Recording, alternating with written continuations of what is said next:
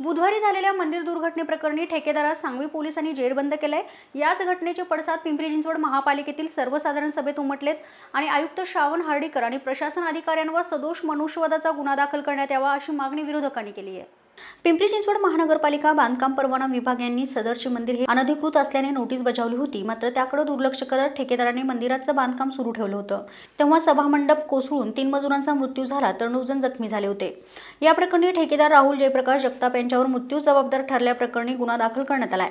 तसेच कामगारांना helmet safety shoes safety जाळी दिली नसल्याचं फिर्यादीत म्हटलं गेलंय. त्यामुळे जगताप याला सांगवी पोलिसांनी जेरबंद केलंय. त्यानंतर आज महापालिकेतील सर्वसाधारण सभेत या घटनेचे पडसाद पाहायला मिळाले तर विरोधकांनी सत्ताधाऱ्यांना घेराव घालण्याचा प्रयत्न केलाय. इतकंच नाही तर विरोधकांनी आयुक्त श्रावण हर्डीकर आणि प्रशासनावर सदोष मनुष्यवधाचा गुन्हा दाखल करण्याची मागणी केली आहे एका मंदिराचं काम चाल चाललं असताना त्या मंदिराचा सभामंडप कोसळून त्यामध्ये तीन लोक मयत झालेत. जवळपास आठ ते दहा लोक इंजुर्ड आहेत किंवा जखमी आहेत. अशा माध्यमातून जी माहिती मिळाल्यानंतर मी तिथली काही गोष्टीची माहिती घेतली. ती माहिती अशी मिळाली की ते एकतर मंदिर नदीच्या पात्रामध्ये आहे खरं तर मंदिराच्या बाबतीत आमच्या भावना का काय वेगळ्या नसणार आहेत. पण तिथे घटना घडली त्याचा आम्ही तीव्र शब्दात राष्ट्रवादी काँग्रेसच्या वतीनं जाहीर निषेध करतो.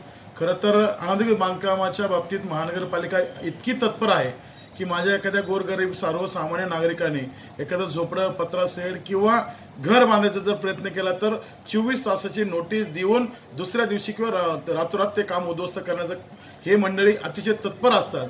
गोरगरिबांना रस्त्यावर आणण्याचं काम करतात.